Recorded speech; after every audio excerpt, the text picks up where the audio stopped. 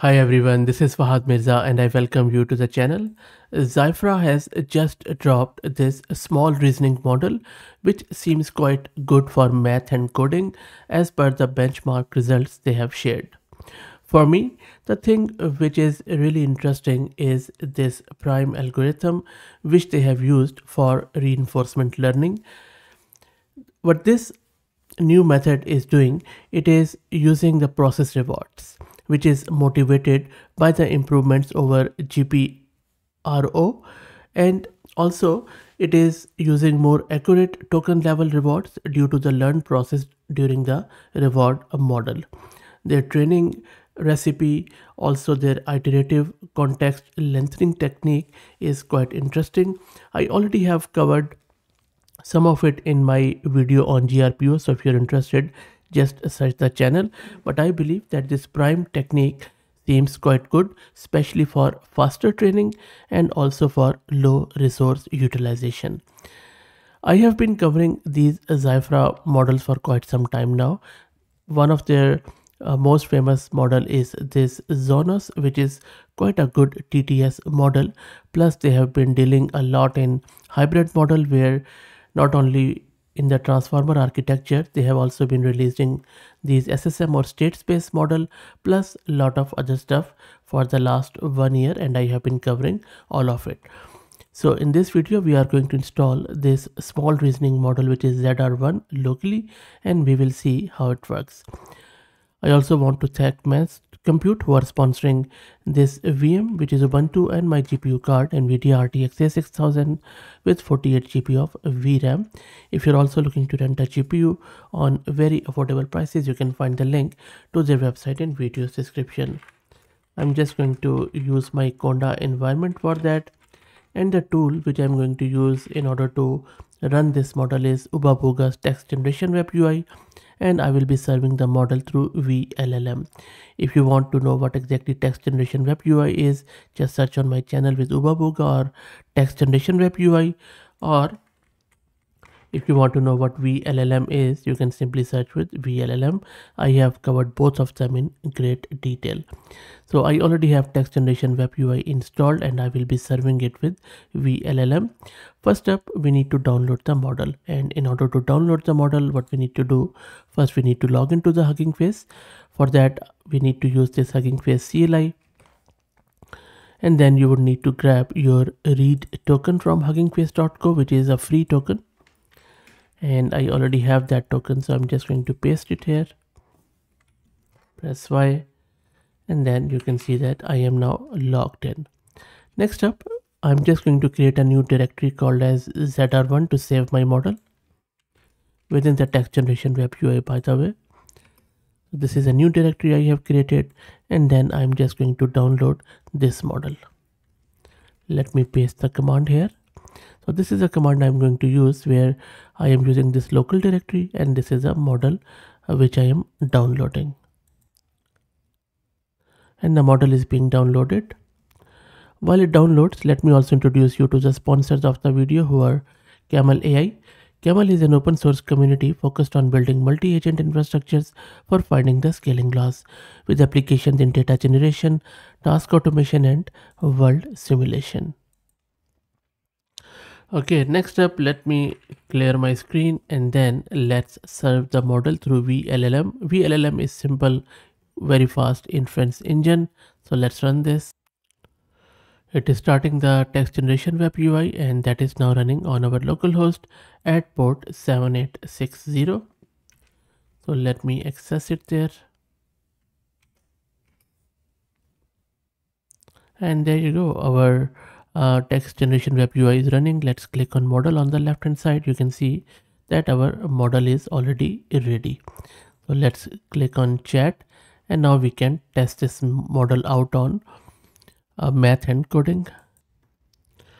First up, I'm asking it a multivariate calculus question with physics integration that to derive the expression for the gravitational potential energy of a solid uniform hemisphere of radius r.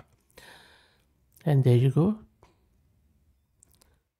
Now this is a short reasoning model. So you see it is talking about um, what exactly it needs to do after understanding the context and then it is thinking. It is integrating. So far looks really good. And I will let it play so that you could also see the reasoning. And then towards the end we will check the answer. But so far so good. You can see that in a typical fashion of these reasoning models it is self-reflecting. It is going through a lot of equations. And it's not an easy question to be honest i think so far the model is doing pretty well in terms of all the equations and stuff. You see it is uh, checking its own answer that wait this seems off. Let me check the formula. Very nice. It is really fascinating to see these um, inner workings of the model. There you go. So it is going towards alternative ways and then it is checking its own answer. It is still confused I will let it run and then we will see what it does. Well, we are really putting Zyphra to test here. And the model took it time but I think the answer is really good. Uh, spot on I would say correct. And now let's check out the differential equation. So I'm just asking it to solve this complex differential equation and also with the explicit generic solution. Let's see how model goes. Meanwhile, let's also check the VRAM consumption in real time. Sorry. There you go. So you see um, just 4.5 gig of VRAM, which is not bad at all for a reasoning model and the quality is quite good we already saw and there you go so it has given the final answer which is again correct and next up let's check out another one so for this i'm just going to ask it um, a cryptography and number theory question which is again a bit complex but let's see how it goes it already has done wonderfully well by understanding what exactly I'm asking around this Euler one and it has given me the answer very quickly which is correct. Okay, so math looks really good. Let's um, open maybe a new chat and then we will do the coding one. So for the coding one, I'm asking it a Haskell question and I'm asking it to implement me a purely functional lazy evaluation based algo for infinite prime generation. So Haskell is a fairly old language. If you are into um, these altcoins, there is a altcoin Cardano, and then on that blockchain, I believe they have used this Haskell language for the smart contract and stuff. Okay, and I'm just hoping that it would someday go up in value and then I'll be a millionaire maybe anyway. So there you go. So it has written me this purely functional Haskell question and looks really cool. You know what? This is the final answer and this is spot on. Beautiful. And the thing which I'm really liking about this model is that it doesn't really unnecessarily spend time where it's not needed. Because some of the reasoning models they just spend a lot of time thinking if it is needed or not. It only thinks longer where it is needed. Next up let's try out a rust question and i'm asking it to write me a thread safe object allocator from scratch let's see.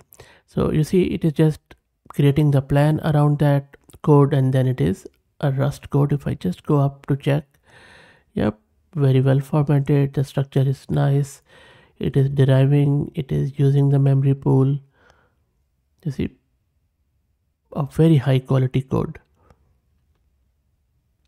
And with just for i think you can even run it on cpu it will be slow but you can easily run it. So the code is exceptionally good and they have even given some of the example usage